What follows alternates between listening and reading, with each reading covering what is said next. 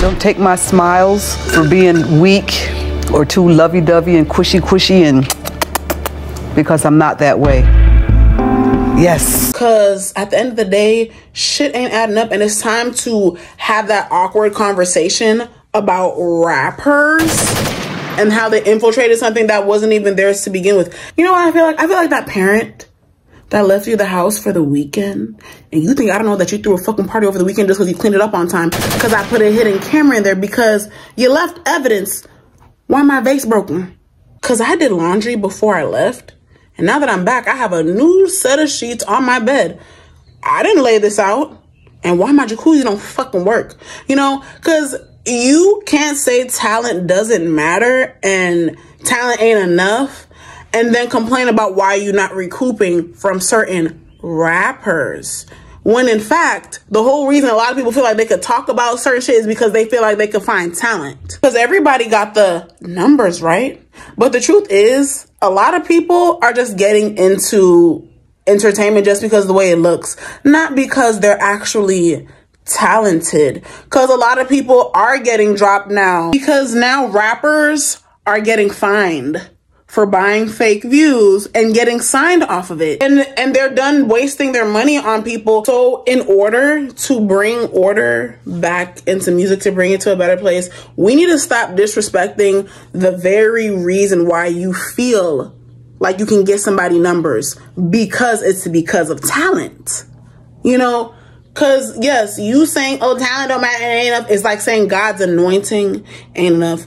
Because the truth is, when you have that type of anointing, you don't feel like you have to work too much. You don't feel like you gotta do, you feel like off, off one rip, people already know. And they do, but you still have to show that you want to be here. And everybody has to prove that these days. And that's why God's anointing, you know, really being gifted, really being born with certain shit without having to work for it, it does come with being able to call certain shots in a certain way because yeah, you can bring the numbers, but you can't do it though.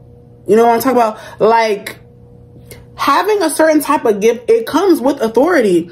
You know, Beyonce can definitely jump into country and take over the whole thing. You know, every time Chris Brown does something wrong, here comes some celebrity writing a think piece about why we forgive him. You know, Summer Walker don't like a lot of people, but I'm always going to be waiting for her. You know, I don't care what nobody has to say about that. You know, it's like you don't, you, you separate it because, you know, you, it's that gift, is that anointing. And it's truly not that deep for a lot of people because it doesn't belong to them. Because me telling y'all rappers about you for real because the bitch you did a feature with won't. I'm actually standing for something like, cause I'm actually talented enough to be like, step it the fuck up. Because when you stand for something, you don't fall for the bullshit. And when you stand on real, you see through the bullshit because this, the entertainment industry is very superficial. It's about what you're wearing, whatever you, how much it is, but it's also very, very spiritual. You know what I mean? Because in entertainment, a lot of this shit is bigger than having an expensive chain or a million dollar home. You know, people see who you are going to become in the future and will pay certain people to send energies your way to stop you. And you have to know how to navigate that spell work. You know what I'm saying? Why? Because you have a gift. And when you have a gift, you have to protect your magic by becoming a magician. and then when things get too deep for y'all, y'all want to call it the devil because you're not a real magician. I mean, a musician. Because there is the art side, the talent side, the gift, the very reason it everything revolves around it. And then yeah, there's the business side, but then there's the spiritual side that you have to know how to protect and cleanse yourself from before we start talking about rituals that y'all don't really know about, why people have to do certain things. And we just have to point out the fact that a lot of rappers just want to be the face of something. They're not actually focused on bringing value, on really being valuable to entertainment. Only for them, the fakers, to have you thinking, like, oh no, what you're anointing isn't enough. Yeah, God is not pleased. Now everybody calling on him now. It was my man, my man, my man last year. Now it's my God, my God this year. You see, it's the real, it's the year of the revealance, and the revealance is you niggas and you rap bitches ain't shit anyway. Fuck.